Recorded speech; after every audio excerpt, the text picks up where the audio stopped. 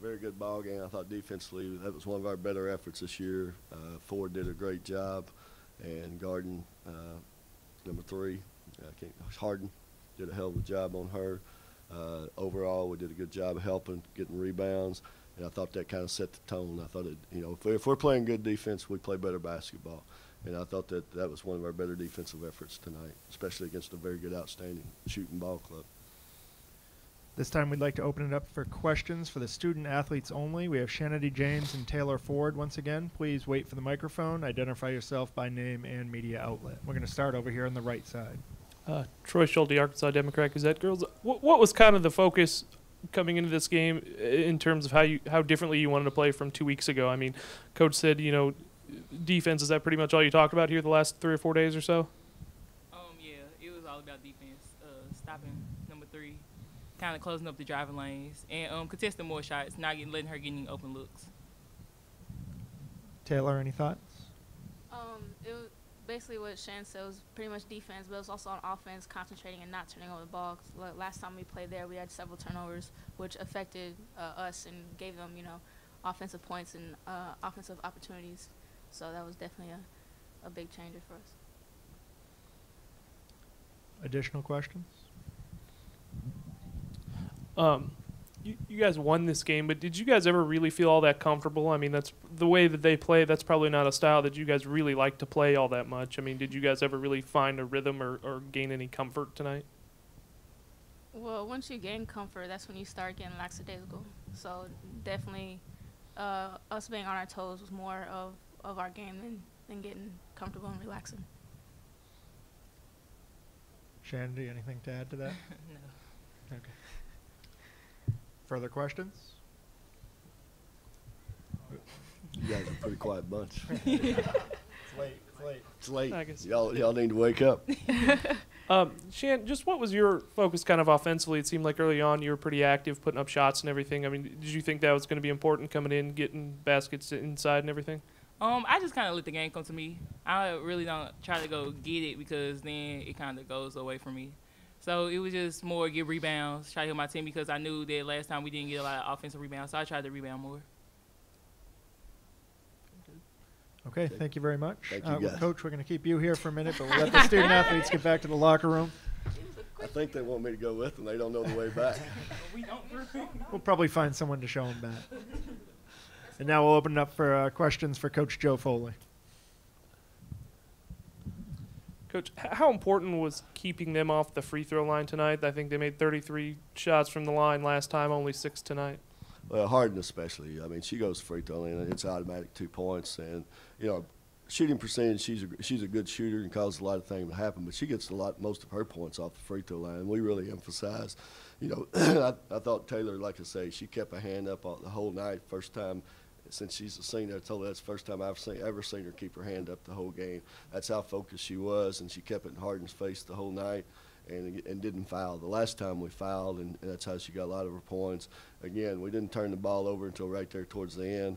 And you know, if you if you turn the ball over against that bunch, you can't get a set defense, and, and that that's where they're great. If you, if you can make them play against the set defense, then you know that works in your advantage. And we couldn't get a set defense when we played them third place because we kept turning it over against the press and things. So you know, a lot of things you know factored in to why we had such a good defense tonight. So offensively, you know, not turning over, not being in a big hurry, and putting bad shots up and letting them get get into that track run, and that that was the key to the ball game. They, we made them play at our pace. We made them play against the set defense, and Ford made Harden play against a hand the whole night. Do you think you guys dictated the pace the whole game? Because there were some times, like I was asking them, where, where it looked like you guys were going back and forth, and you guys didn't look all that comfortable at times, but managed to kind of wade through it. Well, you know, and, and, and that's because they're thinking about what I've told them the last two days. You know, let's don't get in the track meet, and you know, against ninety percent of the teams, you know, we're we're always looking to attack. So it's kind of hard to tell a kid, all right, mm-hmm. we're not going to take that first shot. We're not going to drive it on that first. We're going to make them play at least twenty seconds of def- defense every time down the floor. So you know, our kids are wanting to break loose like they normally do, but they knew, all right, against this team, we got we got to do what we need to do because we had success at our place doing that didn't have success playing at their pace at their place, so they knew what they needed to do. And you know, until we made a few turnovers there towards the end, I thought overall that, that we pretty well were in a pretty good situation of controlling the ball game. does this give you pretty good confidence for the rest of the week just to start off with this type of No. performance? No, no. No, not with this bunch. I've, I've seen everything in the world this year, and we're going to go and we're going to prepare as hard as we can. And you know, when you got freshmen coming off the bench, you know, our freshmen two guards came in there tonight, and you know they were so so tight that they couldn't play. You know, and you know if you notice, we even played Shan out on Harden a couple of times, and that was simply to keep keep the experience out on the floor as much as we could. So, you know, it's it's we're in a situation where we're pretty thin, and if we stay out of foul trouble, and then we're we're pretty good shape. But and and you know, you can see Phony. You know, she's not you know not any close to you know, maybe 60% missing easy shots in there. But you know, anytime she raises her hand, her, her back kills her. So you know, we've got a, we've got a lot of hardships, and we've had to overcome them, and we've done it. And that's that's where I take my hat off to these guys is they haven't quit with all the hardships that they face. They keep battling. We keep finding now we're finding ways to win, and I look forward to it. But am I comfortable with it? No. With One final, if you have one. Anyone? else? Thoughts on Western? Um, you get a day off They're a good before you see club. them. Yeah. Thank you very much, Coach. All righty. Again, UALR will play Western Kentucky on Friday at 2:30 p.m. So, um, we're very happy to have represented Troy University today in the Sun Belt Conference tournament. It didn't turn out like we wanted to, but a lot of credit to UALR um, and their very good coaching staff. They did a good job. Um, we tried to do what we had done all year on offense, which was, you know, take it to the goal. We're kind of a one-on-one type team after we come off of an on-ball screen, and they were hedging those screens really high, really high, and and, and trapping them at times. And in that situation, we would need to hit the roll person. And they were they had some long arms up there. We couldn't really see the roll person that well, and that slowed us up on offense. So they did a good job. This is the third time we played this team. They've played those screens three different ways. Every time we played them, they played them a different way. Um, they did a good job. Questions for Coach Rigby?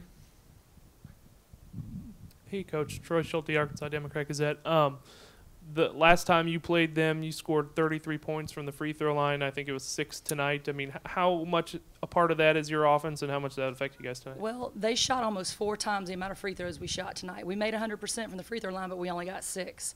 Um, that's no fault of referee or anything like that. It's it's because they attacked harder than we did, and um, they attacked hard, and we had to foul them. And the other thing they did a good job on is when they attacked, uh, if they didn't have the shot, they kicked it out. Whereas when we attacked and we didn't have the shot, we took it anyway, hoping to get a foul.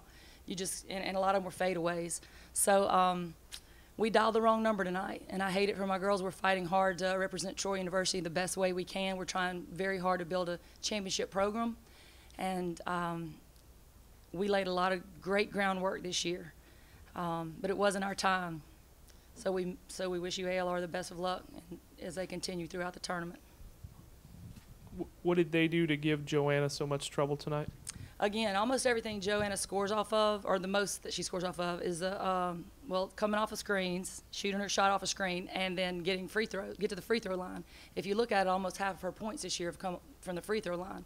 I think she only shot two free throws tonight, so that was a lot of her points. And um, and you know, it was a it was a physical game both ways. Um, that doesn't always bear well on a on a sh- pure shooter. A lot of contact away from the ball and, and on the ball. You know, it went both ways. And, um, you know, all year we just kept letting her shoot it, shoot it, shoot it. And even if she wasn't in her rhythm in the beginning, she would find a way to come out and get 25, 30 points every night. And tonight it did not happen. And um, I don't know if I would trade much uh, letting her take that many shots, which, um, you know, I don't know if I would trade much with that because it's gotten us to where we are right now. What did you think of the pace of the game? I mean, was this you know the the pace that you guys like, or did they kind of dictate things to slow you guys down a little bit, or? Um, we certainly knew it was going to be a battle. They wanted to make it a half court game, and we want to push it to be a full court game and a very fast tempoed game. Um, I, I don't know. I'd have to go back and look at film, but I think we almost did it to ourselves sometimes. We did try to push it up, but then we wouldn't push it all the way to the rim. And so um, we didn't get the results we wanted from, from pushing the ball up the court. I mean, we, we kept trying to press and create up tempo with that. Um, we forced them into 16 turnovers, and that's a lot for them. I think they average around eight or nine or something like that. But we were trying to force them into 25. 25 would have been a big help. But, you know, they handled the ball well, they handled our pressure well. Okay, thank you very much, Coach. Thank you.